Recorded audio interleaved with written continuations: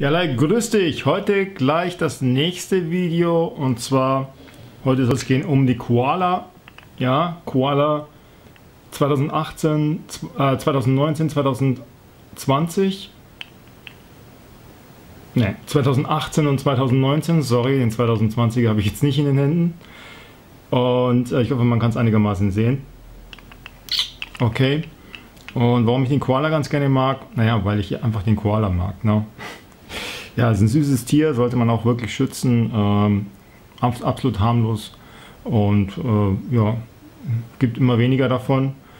Äh, abgesehen davon ist die, ist die Münze halt vom Preis-Leistungs-Verhältnis einigermaßen okay. Ja, also ich gebe euch dann noch gleich ein Beispiel, wo das Preis-Leistungs-Verhältnis ähm, ungleich, also der Spread ungleich, ungleich höher ist. Jetzt muss ich mal schauen, dass die Kamera hier ist irgendwie schief. So. Ungleich höher ist. Also hier äh, bei diesen äh, Koalas, da habe ich gezahlt 20,60 Euro. Und wenn ich sie am selben Tag wieder verkaufen würde, würde ich jetzt bekommen 16,60 Euro. Das macht äh, einen exakten Spread von genau 4 Euro. Also sind wir ungefähr auf der gleichen Höhe wie bei den ähm, anderen zwei Münzen, die ich vorhin äh, ähm, ähm, aus Ghana. Ähm, ja, die Giganten der Eiszeit, die ich vorgestellt habe. Und hier mal ein paar Beispiele. Äh, dazu möchte ich jetzt ganz gern auf den Screen wechseln und wie du hier sehen kannst, siehst du hier zum Beispiel die Koalas. Und äh, auf der Webseite jetzt zum Beispiel von dem äh, auch Agentum-Händler, also es gibt natürlich viele andere Händler, aber der jetzt zum Beispiel, der würde jetzt ankaufen äh, die, da siehst du den Ankaufspreis, zum Beispiel der Koala 2008 und 2007. Da wird es nämlich wirklich interessant. Also wir schauen hier mal bei 2008 erstmal rein. Und wie wir sehen können, ist hier der Ankaufspreis bei 35 Euro.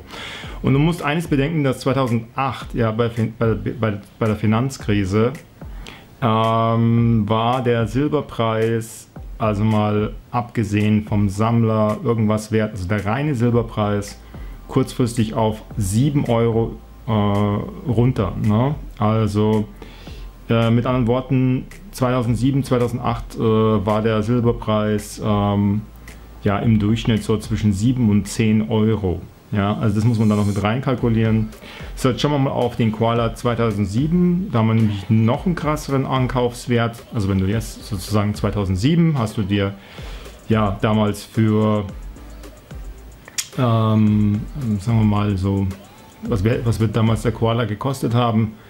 Ungefähr so 10 Euro oder 15 Euro oder, oder vielleicht 12 Euro, sowas in der Richtung. Äh, auf, dem, auf dem Euro genau kann ich es jetzt leider nicht sagen. Ähm, 2007 und wenn du den heute wieder verkaufen würdest, das siehst du also hier quasi bei, bei Ankauf, also das ist letztendlich, wenn du den verkaufen würdest, siehst du hier 50 Euro. Ja, hättest du da damals, sagen mal, 100 Koala 2007 gekauft, ne, und kannst jetzt einfach nochmal mit reinrechnen, dass sich sozusagen der Silberpreis äh, mehr oder weniger verdoppelt hat seit der Zeit. Ähm, wenn du das jetzt mit rausrechnest, ja, dann bist du ungefähr beim Sammler, äh, letztendlich beim, beim individuellen äh, Stückwert, äh, bei der Stückwert, äh, bei der individuellen Stückwert ähm, Zuwachs von ungefähr 100 Prozent. Ja, weil du kannst da ungefähr rechnen, ähm, dass eben damals der Silberpreis 10 Euro war und jetzt ist er ungefähr bei, also zwischen 7 und 10, jetzt ist er ungefähr bei, bei, bei 18 Euro. Sowas, ja. Und also Pi mal Daumen ungefähr 100 Prozent gemacht, ne?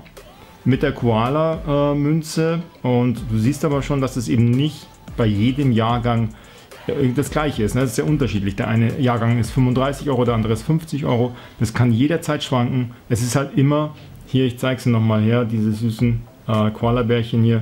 Es ist immer eine Frage von Nach Angebot und Nachfrage, exakt wie bei Aktien oder sonstiges. Ja? Wie bei allen anderen Dingen auch. Ja?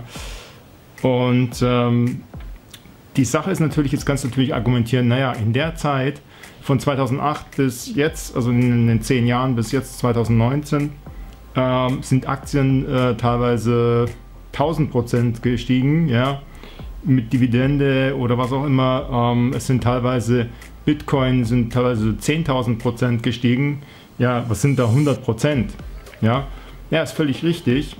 Und deswegen sage ich auch, hier diese Edelmetalle, ja, ähm, immer nur so um die 10% äh, deines liquiden Vermögens, ja.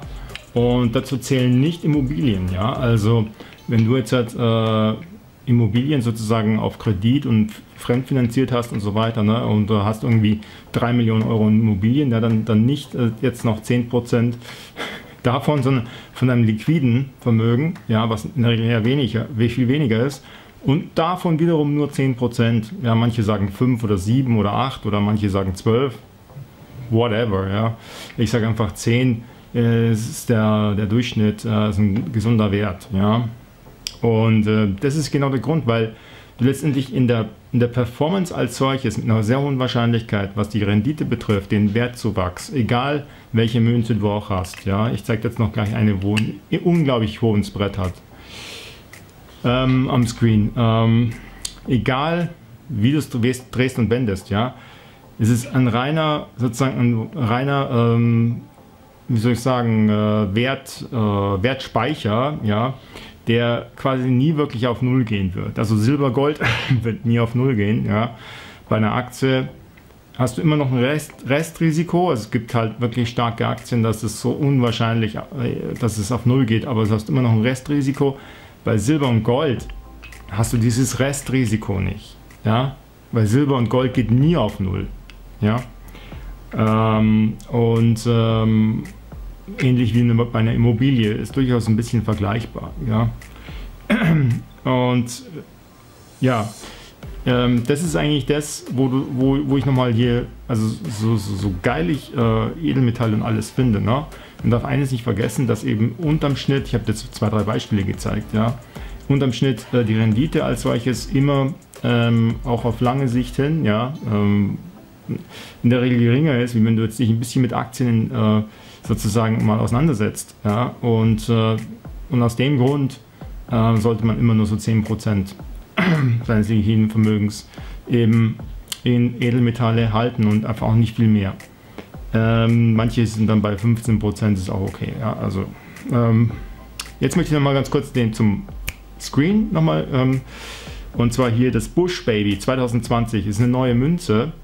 Und du siehst hier, äh, hier ist jetzt noch polierte Platte, die kosten dann meistens noch mal viel mehr, weil die noch extra poliert worden sind und so weiter. Aber es ist jetzt einfach nur mal, äh, das ist einfach so ein Sonder, schon was extra Besonderes, eine Münze mit geringer Auflage und, und polierte Platte und so weiter. Kostet 74 Euro. Eine einzige Unze Silber ist es nur. Ja, das ist genau, genau die gleiche Menge Silber wie diese Koala, den ich dir gerade gezeigt habe. Ja? Ähm, oder die, die Giganten der Eiszeit, die ich dem anderen Video gezeigt habe. Ich verlinke das Video hier oben nochmal. Und der Ankaufswert, wenn du diese, wenn du diese Bush Baby 2020 sofort, du siehst es ja selber, kannst ja lesen, äh, am gleichen Tag wieder verkaufen würdest, wäre der Ankaufswert 40 Euro. Das ist sage und schreibe ein Spread, also eine Marge von 34 Euro. Ja, die musst du erstmal zurückgewinnen, wenn du dir so eine Münze kaufst. Ja, so schön die auch immer ausschauen mag. Ne? Ähm, du kaufst dir das Ding, das ist wie, das ist in der Tat vergleichbar, wenn du dir ein nagelneues Auto kaufst. Ja, du kaufst ein nagelneues Auto, Du setzt dich rein, fährst, gibst einmal Gas, fährst nach Hause zu dir zwei Kilometer und schon hat das Ding äh, einen Wertverlust von 30 Prozent. Ja, so ungefähr, eher überspitzt gesagt. Hier bei so einer Münze ist es sogar noch krasser. Na, du kaufst das Ding, würdest es sofort wieder verkaufen wollen, bist du, also fast 50 Prozent sind, sind das ja. Ne? Also 34 Euro hast du schon mal Verlust gemacht von 74 Euro. Also da musst du halt wirklich, wirklich aufpassen, was du da draußen kaufst, weil ich habe eben letztens, war ich beim Edelmetallhändler, ja, äh, habe ich ja schon öfter jetzt erzählt und bin in der Schlange gestanden, habe viele Leute dort getroffen und ich habe das Gefühl, dass viele äh, jetzt über die, die YouTube und, und Social Media und auch viele ältere Leute über ihre, sagen wir mal, über ihre Jüngeren, also da hatte ich zum Beispiel eine, eine Großmutter mit ihrem Enkel und so weiter, dass die halt dann letztendlich Wind bekommen. Ja, Edelmetalle, das ist was, ja, die kaufen sich dann Crash-Bücher von Max Otte und, und Weig und, und der Draghi-Crash und, und alles Mögliche, ja, und irgendwelchen Goldgurus und so weiter und so weiter und haben aber nur so ganz sachtes Halbwissen. Ne? Und dann kaufen sie sich irgendwie eine schöne Münze, die schön äh, shiny ist, ja, die schön scheint, ja, aber schön poliert oder was weiß ich und kaufen sich dann irgendwas halt, ja. Und äh, erkennen gar nicht, dass sie letztendlich da so eine Art Jaguar kaufen, ja, so eine Art, ähm, ja, was weiß ich, so eine Art Rolls Royce. Und wenn sie den am selben Tag wieder verkaufen würden, hätten sie 50% Verlust gemacht. Ne? Also ähm, deswegen immer schauen zum, zum, äh, zu, als Versicherung, ja, immer nur Anlagemünzen kaufen und das, was ich hier habe, diese Koalas, ja, das ist schon eigentlich mit einem Spread von 4 Euro ist eigentlich schon sau viel, denn das ist dann schon so extravagant. Ne? Man kauft sich da vielleicht ein, ein oder zwei davon oder ein paar vielleicht, aber nicht so in wirklich in großer Masse. In großer Masse immer nur diese Anlagemünzen, das sind nur drei oder vier, die da wirklich in Frage kommen, dass du dann so ein Spread von 60 Cent, 80 Cent, 1 Euro, 1 Euro 20, ne? Na gut, ähm, das, das lässt sich dann noch verkraften. Okay, das soll es gewesen sein. Also ich hoffe, ich konnte da so die Message mal äh, rüberbringen, zu, zumindest zu, auch zu den Leuten, die vielleicht immer so ein bisschen was mitbekommen ja, von Edelmetallen. Und es gibt jetzt mittlerweile auch so viele YouTube-Videos von Edelmetallhändlern direkt, also YouTube-Kanäle, die von Edelmetallhändlern erzeugt worden sind und betreut werden. Und die werden dir halt, naja, alles Mögliche natürlich sagen, auch wirklich gute Tipps und so, aber die werden dir halt nicht sagen, dass du letztendlich von der Rendite her natürlich immer schwächer bist wie, wie Aktien, ja, und äh, in der Regel auch Immobilien. Und ähm, ähm, die werden dir vielleicht auch nicht so, äh, nicht so krass rüberbringen, ja, äh, dass du wirklich aufpassen musst, welche Münzen du kaufst. Und ähm, den, den, Spread. Ja, ich habe noch kein wirklich Video gesehen von äh, Edelmetallhändlern, die dir wirklich erklären, äh, dass du aufpassen musst bei der Margen. Weil das ist, die Margen ist ja das, was, wo die am meisten dran verdienen, ja. Also desto seltener die Münze, desto, desto schwieriger wird das Ganze. Dann musst du schon wirklich wissen, warum du das Ding kaufst, ja. Nicht einfach nur kaufen, weil es schön ausschaut. Wenn du damit natürlich keinen Verlust machen willst, wenn dir das egal ist, wenn du es einfach nur kaufst, weil es schön ausschaut. Das ist aber auch kein Anlagegut, auch keine Versicherung, ja, keine Geldanlage, sondern es ist ein Konsumgut, ja. Also das bitte nicht vergessen, dann ist es genauso, wenn du in den Laden gehst und dir ein schickes Paar Schuhe kaufst, dann kaufst du die Schuhe auch nicht, weil die jetzt äh, irgendwie ähm, Wert erhalten sollen als Wertspeicher, sondern weil sie einfach schicke Schuhe sind. Ja?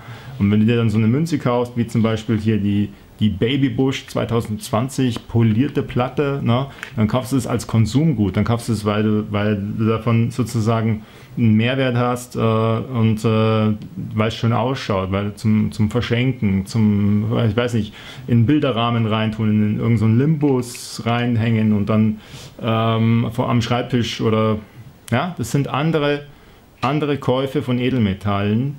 Von, das ist genauso, wenn du zum Beispiel Ketten kaufst, Schmuck, ja, machst du in der Regel immer ein Verlustgeschäft. Ja, als, äh, als Konsument.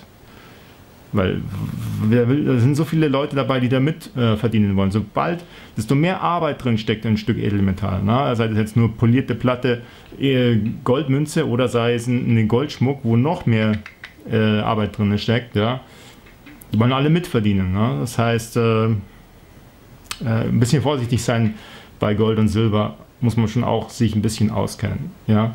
Okay, das soll es gewesen sein für dieses Video. Ich hoffe, hat es gefallen, hat es weitergeholfen. Vielleicht, wenn du noch nicht so ein, äh, wenn du einfach nur so ein bisschen immer was mitbekommst von diesem ganzen Gold- und Silberzeug, ja, von irgendwelchen Edelmetallhändler, YouTube-Kanälen und irgendwelchen Crash-Propheten und so weiter, die sagen halt einfach, naja, kauf, na, äh, Gold und Silber, äh, kannst nie was verkehrt machen. Nee, auch beim Gold- und Silber kaufen, wenn du dich nicht auskennst, kannst du viele, viele Fehler machen, ja. Und das Falsche kaufen beim falschen Händler, zum falschen, äh, zum falschen Zweck, ja, die falschen Münzen, ja, ähm, da gibt es so viele Sachen. Äh, ich werde dann noch ein paar Videos demnächst dann auch machen. Ähm, ich habe dann noch ein paar ähm, Beispiele, die ich dann noch äh, hier verbreiten gerne möchte, um halt, halt einfach ein bisschen mehr äh, neutrales und völlig unabhängiges Wissen halt äh, weiterzugeben. Bis zum da, also gut, dann äh, bis zum nächsten Mal, ja. Ähm, gib mir einfach einen Daumen hoch, ja, schau hier oben den nächsten Film, äh, den nächsten Video an und dann sehen wir uns in diesem nächsten Video. Bis dann, dein Thomas Klein und ciao.